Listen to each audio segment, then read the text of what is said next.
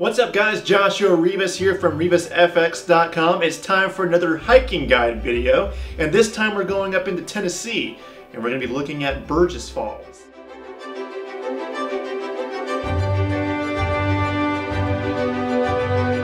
Burgess Falls is located in central Tennessee amidst a plethora of very nice waterfalls near the Cookeville, Tennessee area. Burgess is located specifically inside of Burgess Falls State Park, just south of Cookeville, Tennessee.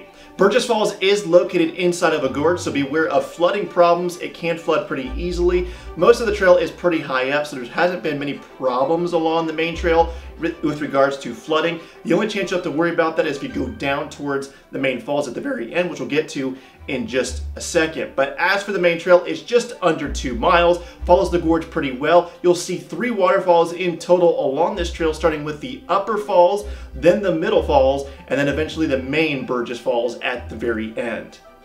Once you leave the parking lot, you're gonna come to a sign that says three quarters of a mile approximately to the main falls and also it being a strenuous hike. I've done it twice and it's not too bad. We'll talk about the rating here a little bit later on in the video, but depending upon your discretion, it could be a little strenuous at times. There is a good bit of elevation gain, some steps, and also some roots along the way that could make it a little bit harder at times. But overall, the trail, not terrible, especially compared to other trails in the area. As you start on the trail, you're gonna see at least part of the upper falls and it's a pretty nice view. You can get right along the water there. And if you continue on the trail, you're gonna come up to like a pretty new bridge feature, really nice that they've done along this trail. And you're gonna come up right along the side of the creek and you're gonna see an old-timey kind of bridge that crosses the creek. Obviously, you're not gonna wanna touch that, but nonetheless, along that little ledge, you're gonna see a nice view of the Upper Falls before you continue on your trek towards the middle part of Burgess Falls. The path will cross about two bridges over very small creeks. When it is running and it's pretty wet, you're gonna see two kind of small waterfall-like features. That'll be to your left most of the journey, but you're gonna cross at least two bridges along the way to your journey towards the middle falls. As you pass the second bridge, you're gonna start to see a little bit of that elevation gain. And by a little bit, I mean you're gonna see quite a bit of daunting stairs ahead of you that are gonna go straight up. So those are your stairs and pretty much your main elevation gain along this trail. And take your time a little bit as you climb up these stairs. Once you come down, it's a lot easier on the way back. Once you pass the steepest stairs, it gets a little bit easier, flattens out a little bit, comes down as well. You're gonna see that fence back to your right, and then you're gonna start to see a sign that says overlook.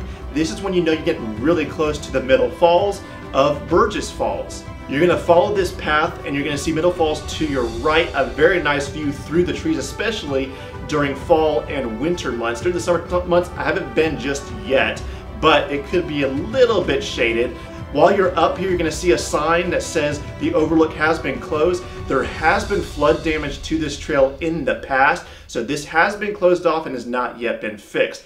Once you finish up at Middle Falls, it's time to continue on the trek and finish up this trail, getting to the main view of Burgess Falls. You're gonna come to a little bit of a fork in the trail. To your right is the way down to the main falls, which we'll talk about in just a second, but just ahead of you is gonna be kind of a square bridge with a fenced around area with a beautiful view of the gorge and also the main falls that you don't have to worry about any flood problems if you stay along this main square bridge type of feature. As I stated previously, if you take it to the right along the trail at that fork at the very end of the trail, it's going to take you down towards the main falls. And yes, I said it goes down. So keep in mind, if you're going to go down this way, you're going to have to make your way back up. So it will be another climb along the way. But nevertheless, it's pretty worth it to go all the way down. There's gonna be stairs along the way. So be very careful, especially when it's muddy in some of the wetter months. But overall, not too bad. Just take your time and also be curious of many other hikers in the area. As you make your way down towards the top of the falls where the creek is flowing, you're gonna see the old way of getting all the way down to the very bottom of the gorge that you would be able to see Burgess Falls from a bird's eye point of view. Like I said before, this trail has suffered uh, flood damage in the area in the past.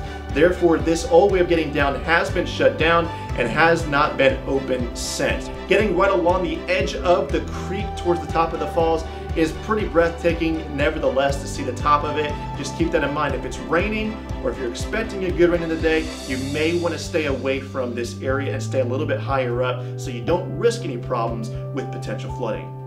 Once you're done taking it in at the main falls, if you did go all the way back down, keep in mind, like I said before, you're gonna have to climb all the way back up, which again, overall is about, I would say about 80 to 100 feet in terms of elevation. So it's a bit of a climb, but not too difficult. Just take your time again. Climb all the way back up towards the platform. You're kind of back to where you started. Once you leave the platform, you're gonna immediately see a fork in the path, left and right. The sign is going to tell you to the parking lot. You can take a little bit of a gravelly road to your right and just walk the road back to the parking lot or you can stay on the trail again to your left. I would advise staying on your trail to the left. You never know what you might see on the way back that you may have missed on the way there. I always love walking the trail back and just getting it at a different vantage point. All in all, Burgess Falls, I give it a must see on my list. I definitely recommend this trail get out and check it out. If you have to make the drive, I still would do it. It's worth it to see this amazing waterfall. Not just one waterfall, there's three. Remember, right when you get to the parking lot, you're gonna see the upper falls, and that's when you know you're in for an amazing journey. It's just absolutely incredible to take it all in.